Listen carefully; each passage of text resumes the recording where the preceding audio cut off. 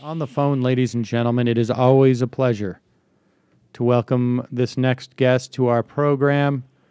He is a writer with The Nation magazine, author of the wildly successful Herding Donkeys, and uh, also the author of the forthcoming uh, book. What is your forthcoming book, Ari?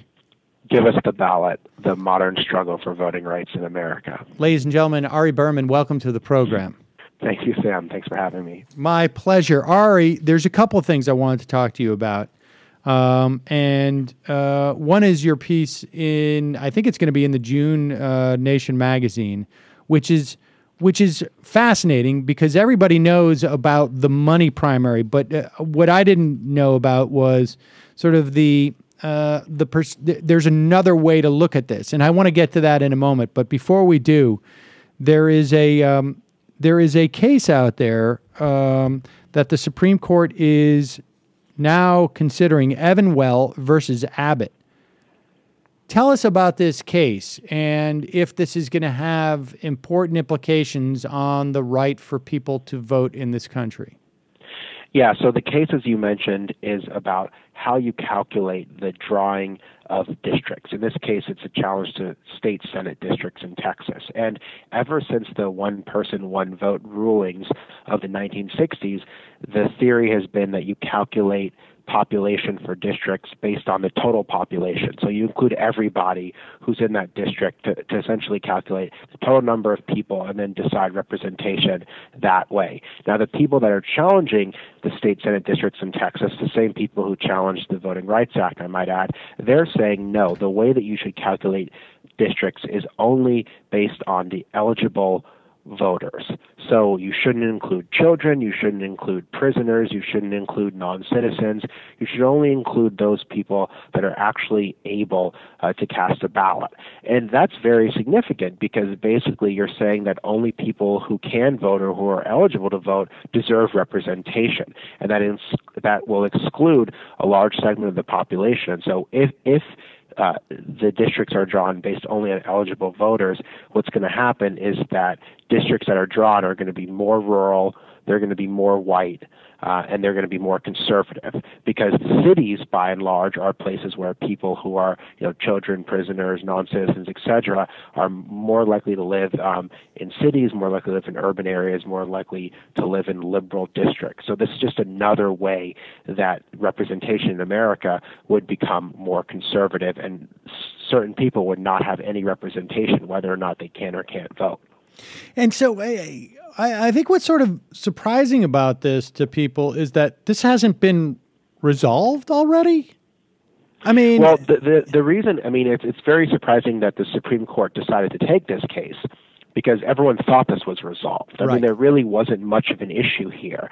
I mean, one person, one vote has been established principle since 1964. Uh, people have not really been debating this issue that much. And so, uh, for the court to take it, I mean, there's two theories about why they took it. One theory is that maybe um, the liberal justices agreed to take the case as a way to squash this issue once and for all, or potentially uh, it, it's possible that the conservative justices agreed to take this case. Remember, it only takes three justices to hear a case, but anyway, that they decided to hear it uh, essentially because this is going to be another decision that's going to radically shift voting rights to the right. I mean, you already had a situation where you know they gutted the Voting Rights Act in 2013, a very radical decision. Uh, now they're talking about one person, one vote. Um, if they were to, to decide uh, that only eligible voters count for representation, that would be a dramatic re- that would essentially mean a dramatic redrawing uh, of so many districts across the country. I mean, it would be a huge, huge deal.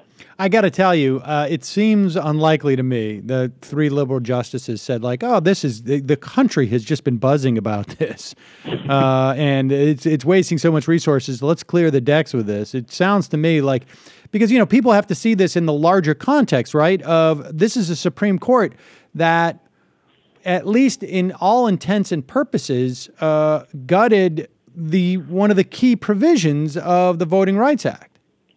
Yeah, yeah, absolutely. I mean, so this wouldn't be unprecedented for the Roberts Court to do this. It's absolutely true.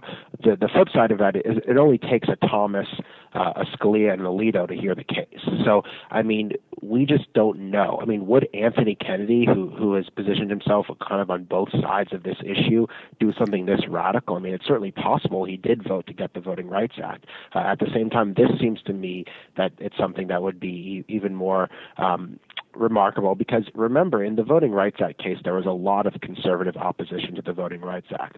Uh, I argue that, that that position, that opposition was misplaced, but there was a long record here. In this case, Texas is arguing on the same side as the federal government. So I mean, you have a situation where even Texas, which is one of the most rampant violators of voting the Voting Rights Act, they don't even want these districts to change. So really, the only person that's that's challenging this is this guy Ed Blum, uh, who launched the the case that challenged the Voting Rights Act, and then uh, essentially is trying to challenge these districts. Uh, he knows they're protected under the Voting Rights Act, but he's trying to challenge them kind of through the back door. And so this was something, somewhat of an innovative case that he brought.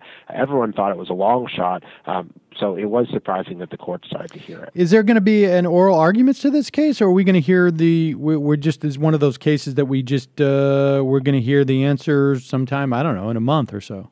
No, I mean I think there's going to be an oral argument. And what what about the practical implications of this? In other words, like isn't don't we determine uh, don't we use the size of a, a, congressional district in terms of resources in certain instances? Don't we? Isn't this also sort of like how we use the census? Like, I mean, do we?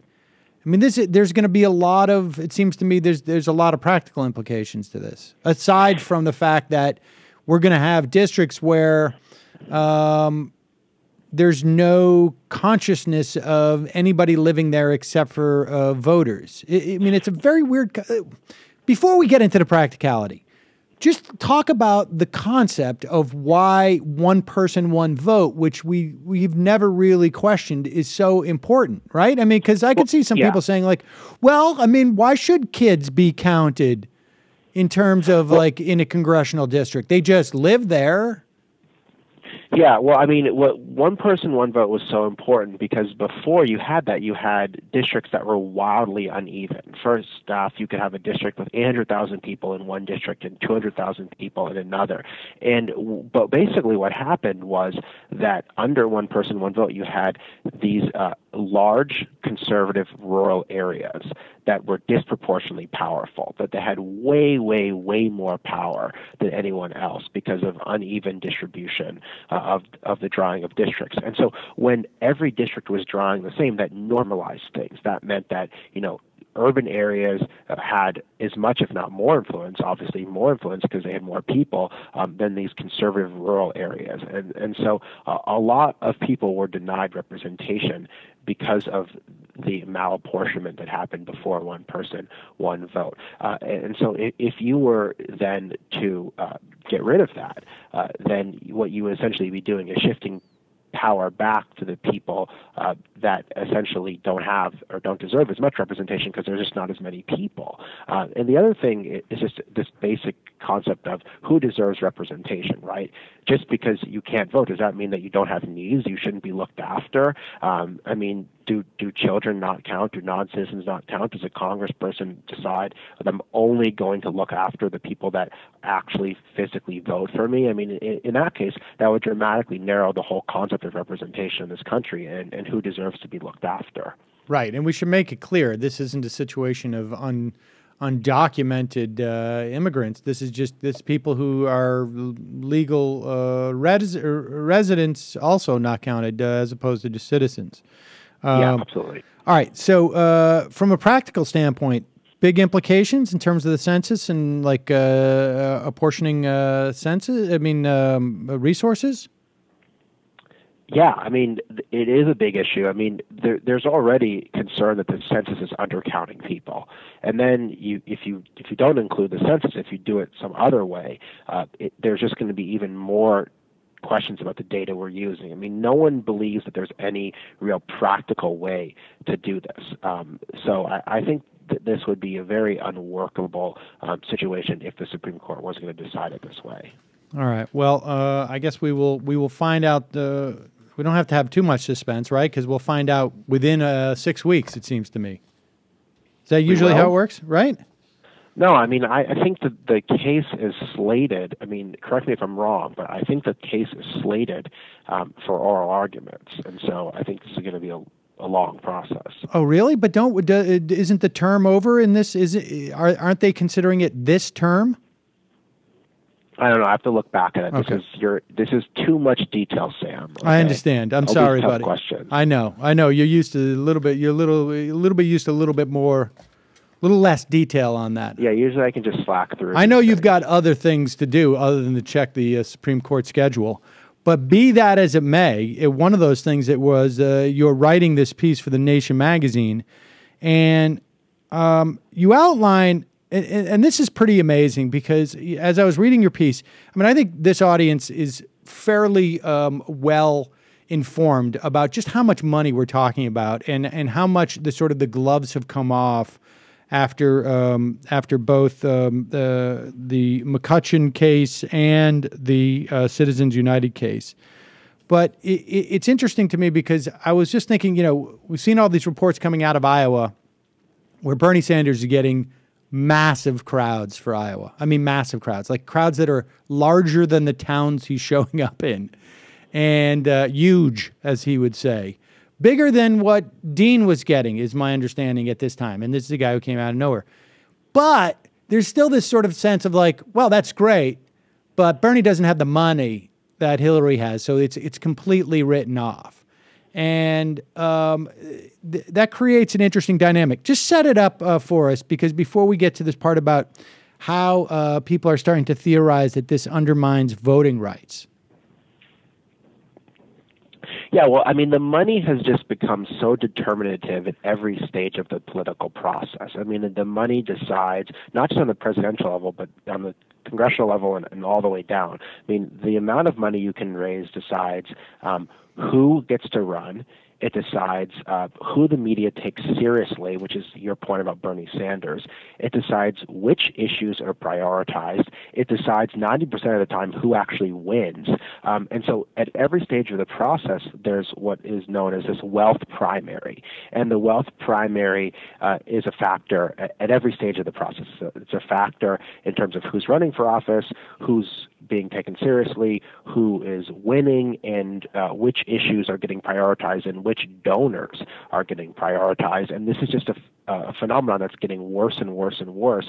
And particularly in the wake of Citizens United, it's just exploded uh, to the point where um, there's so much money in the system uh, that there's really no checks uh, to, to try to, you know, in, in any sort of feasible way, control the influence of it. And we should say, obviously, this is this is Republican and Democrats. I mean, you you outline.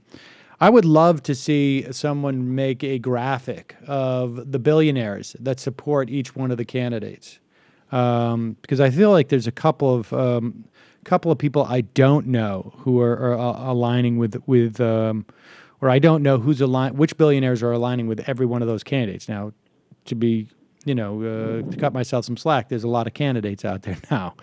Um, but I mean, so you, you've outlined the tremendous amount of money, and what do we? I mean, we're looking at a billion dollars, right, on on both sides, a couple of billion dollars, right?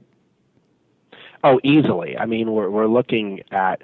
I mean, the Koch brothers alone are going to spend almost a billion dollars. Um, the Clinton campaign is going to spend a billion dollars. Uh, the Republican primary, I mean, you could get multiple billion dollars. I think everyone expects that this election is going to cost like seven to eight billion dollars when it's all said and done. That's just stunning. And we can't really know these days exactly what the numbers are, right? Because we're starting to see this development where the candidates are outsourcing a lot of their work to these super PACs uh, and uh, these super PACs have a lot less uh, disclosure requirements. And so they're going to be running sort of these parallel campaigns.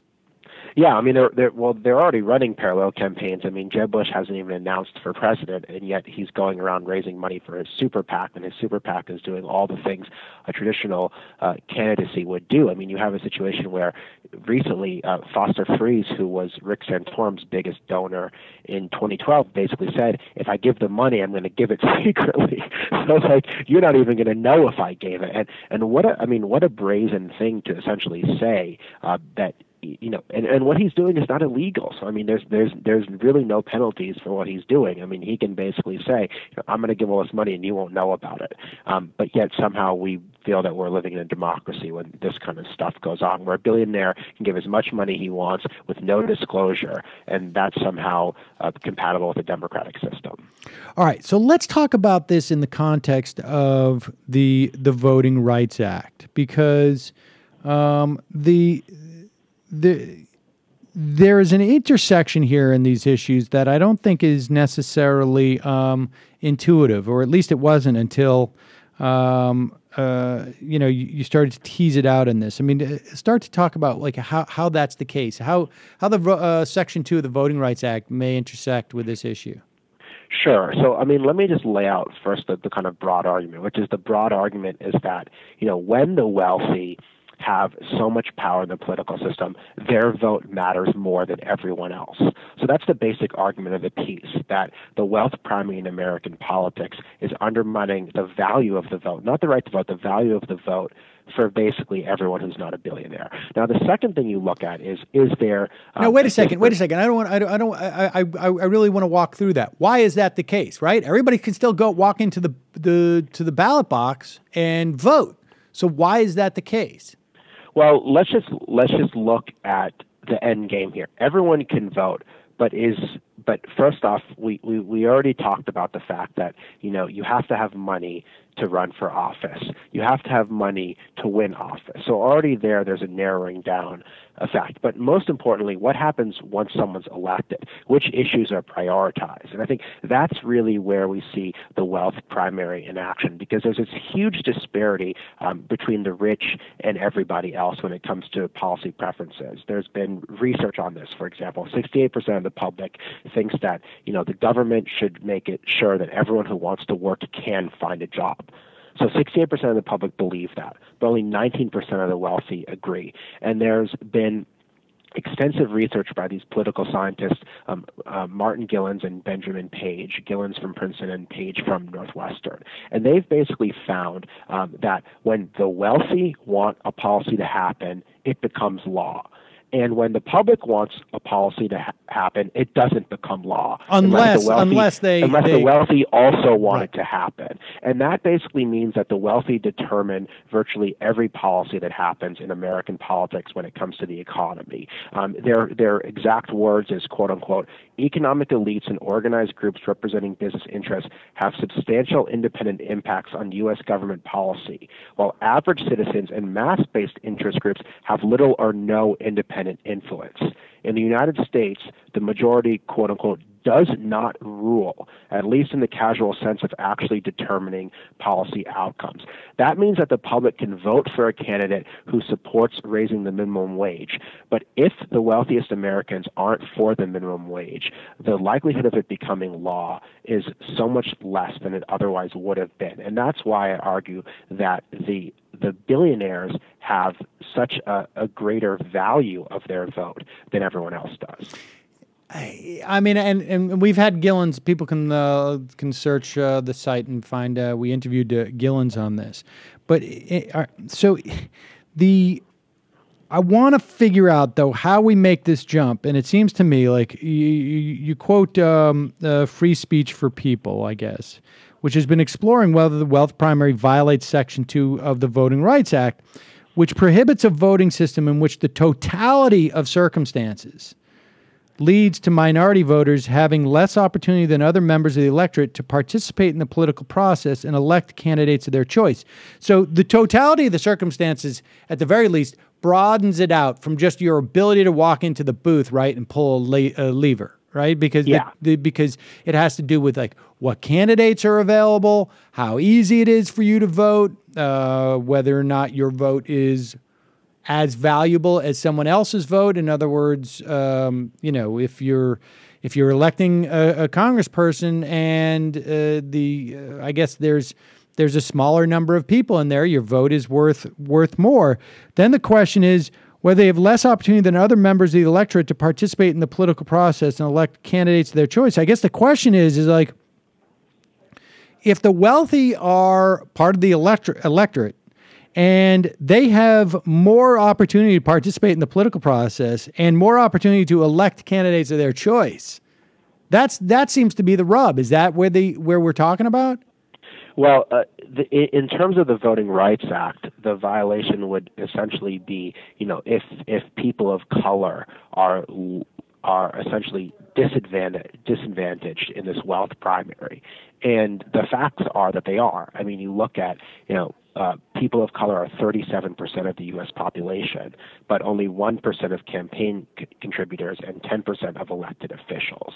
And so you, you have a, a situation where um, they're at a, serious marked disadvantage uh, in the wealth primary. They, they, contr- they control fewer resources, um, and they're, they're further down on the socioeconomic scale. And, and, and that's why, you know, I quote a, a, a study by George Washington University law professor uh, Spencer Overton, where he says a political process based on private money gives wealthier white communities disproportionately large influence in determining all candidates. And so then you look at the at the at section two of the VRA, and section two of the VRA has nine factors that courts are supposed to consider uh, when they when they're deciding if uh, a a voting system or a voting district is discriminatory. And two of them specifically relate uh, to the wealth primary. One, um, whether the effects of past discrimination uh, in, in, things like education, employment, um, hinder their ability to participate in the political process, which courts have found has been the case, and also the exclusion of members. And this is this says from the candidate slating process. Now, no one is officially excluded by the wealth primary, but certainly uh, in in means uh, in terms terms of people not having access to money, not having access to donors, uh, they are excluded. And it's true that people of color are more likely to be excluded because they have less money um, when they're running for office. And so uh, this is not to say that this would be a slam dunk case. I mean, I think this would be a very, very tough case to win, particularly under the current judiciary. Well, it's the under the current Court. judiciary. Forget about it, right? I mean, when we I mean, talk about this, Court, right? The Roberts Court, the two things they hate the most are voting rights and the regulation of money in politics. So this would be like the ultimate twofer for John Roberts. He'd practically explode if this case reached the Supreme Court. But I, I, I wrote this to get people thinking about the issue. Um, that that that maybe the the amount of money in the political system, maybe it's not only morally wrong, maybe it's also legally wrong too. And and we should start thinking about this, and we should start thinking about it in terms of all Americans, but we should also start thinking about it in terms of the Voting Rights Act, because that's an actual piece of legislation that you can litigate under, um, as opposed to the, the whole concept of getting money out of politics, which is basically totally legally unworkable right now with the current Supreme Court. I mean, people should understand this. I mean, it's because there has been uh, attempts to to institute some type of campaign finance that's been rolled back, both sort of, I guess, uh, not so much statutorily, uh, but uh, by the Supreme Court in its decisions. And we're talking about five, ten years out, maybe you know but five years is not unrealistic, where we could be looking at a completely different Supreme Court. I mean, by completely different, I mean one where it's could very well be 5 4 in favor of um, more center left than center right, than, you know, from the center to the right. And, you know, because all it takes is you've got two Supreme Court justices uh, on the conservative bloc who are in their, at least deep into their 70s uh, mid 70s. Uh, two of those people get replaced, and suddenly it's 5 3, or I should say uh, 5 4. And so this is how this happens, right? These, these ideas. So, I mean, are there. Are there groups out there that are beginning to sort of think about this and develop this and starting to look for test cases? Because we should tell people that the first case we talk about, uh, one person, one vote, is brought up by a think tank, essentially, couple couple of guys who get go out and get money to just to bring cases like this, except for to disenfranchise people from voting. Yeah, I mean, I I think you know, two things will happen. Number one, if the Supreme Court changes, I think people will try to bring a challenge that gets the court to re-examine Citizens United, and so maybe that will be a more straightforward uh, campaign finance case. Because certainly, four justices are very unhappy about Citizens United, and if there was a President Clinton was to name a second President Clinton was to name. Uh, a, Supreme Court justice. Hillary has already said that one of her litmus tests for a Supreme Court justice is whether they will uh, look to overturn Citizens United. So that's already an issue that, despite all the money that she's raising, that that she's identified as something that she cares about. And so I think whoever she appointed w- would uh, would certainly want to relook at that decision. Um, the second thing is is trying to restore protections for voting rights because, uh, as we mentioned earlier, the Voting Rights Act was gutted, and so I certainly think you're going to try to get cases up there um, that gets the court to, to look at, uh, in the absence of a congressional solution, more protections for voting rights. And this could be an issue potentially where there could be overlap um, between uh, the, the campaign finance world and the voting rights world, and it would be a, it would be an innovative case. Um, it, it would be something that I, I think would uh, not be the traditional case the court would heard, but the conservatives have been bringing crazy cases for years uh, and and trying to get the court to hear them, and they've succeeded by doing that. And this is just an attempt to try to get uh, progressives to start thinking the same way out of the box, a little bit more creatively about how to restore protections uh, to a system that has gone completely out of control. You mentioned um, uh, in your piece uh, Lawrence Lessig uh, drawing parallels between the fight for voting rights in 1960 and the push to get money out of politics today. How much is he doing in in in, in terms of of of of sort of trying to develop these theories? Because you know people should know like the the for a lot of people this is sort of the um, uh, not so much the silver bullet, but this is this is this is the first thing that we have to fight and to figure out. And it's very difficult because it seems like just about all roads are barred in some respect. A, and B, it also seems like the public at large does not is not energized by this issue. Yeah, well, I think you know Lessig hasn't been looking so much at the litigation, even though he is a law professor. Uh, I think he's been looking more at the, the, what you just mentioned. Number one is mobilizing public opinion to get people to really care about the issue, and number two, I think he, he's trying to push for legislative solutions. And so, uh, w- one of the things he did in the last election was try to elect candidates uh, who were more amenable to getting money out of politics. Now, that that effort largely failed in 2014 because there was such a conservative wave election.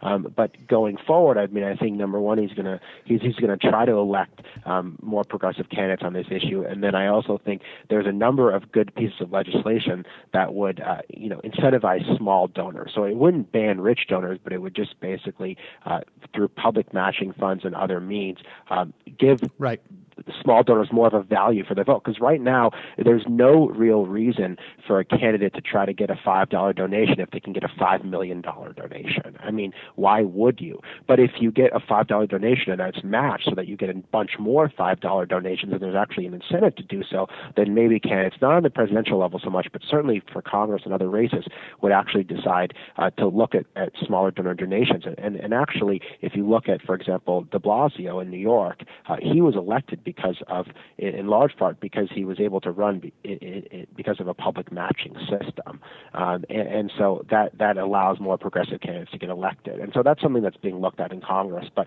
I mean, right now, any sort of congressional solution is really a band aid uh, on a, on a completely broken system. Wow. All right. Well, uh, so Ari, are you going to be um, uh, before you go? Are you going to go? Are you going to head on the campaign trail uh, this year or no? We'll see. I have a book to promote starting in August, so I'll be on my own campaign trail then, uh, and and then probably eventually I'll be on the actual campaign trail at some point. What do you make out of? I mean, I should just uh, give people some backstory.